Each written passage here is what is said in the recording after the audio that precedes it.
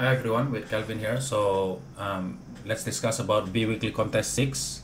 Um, second question, minimum swap to group all one together. So we are given an input of an array. So and then after that, um, we're being asked to return the number of swap operation to make all the one together, right? So here you can see um, if we swap this one to the second area, then we only require one swap and then everyone will be together. And the second way of doing it is by moving this one to here and then all one will be together also. So the minimum operation is one swap. Um, there is exam example of two swap, but we will take the minimum one, which is one swap. And second example, we only have num one number of one, so the output will be zero. We don't require any swap. And the third example here, um, we need a three time swap. So how we're going to do this um, question is by using the um, sliding window algorithm. So how is it doing is basically um, we count every number of one here, right? We count every number of one here. So let's say here we have six number of one, right? So we need to target which area we want to land. Like for example here, let's say it's here, right? We want everyone to be here?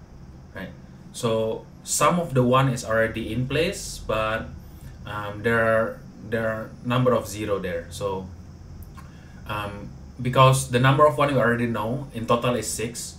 So the number of empty area there will be our answer. So we just need to slide it through like um, first we try this six. The answer will be three. We try this six. The answer will be four the six here the answer will be three again and the 6 here the answer will be 3 and the 6 here the answer will be 3 depends on how many number of 0 in our range of 6 we, we got 6 from the number of 1 in total. So yeah that's it. So yeah as I explained before we count the number of 1 so we add all of the number of 1 there and then the current number of 1 I loop through 0 until 6 so we initialize our sliding window algorithm which come from the first six array. And then we check all the one it contains there right? And then after that we loop through first index so we, we try to move right? When we try to move it um, uh, yeah so the initial output will be number of one in total minus current number of one which is uh, range from 0 until index 5 uh, at the example.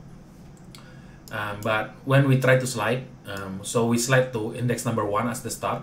So we try to reduce the number of one we we left. So from this six we move to this six right? So we need to exclude if the first number is one then we try to reduce it by one. And if the new array new index being added in is a one then we add one inside. And then we calculate the number of total number of one minus um, number of one in the array. And that's basically the number of zero.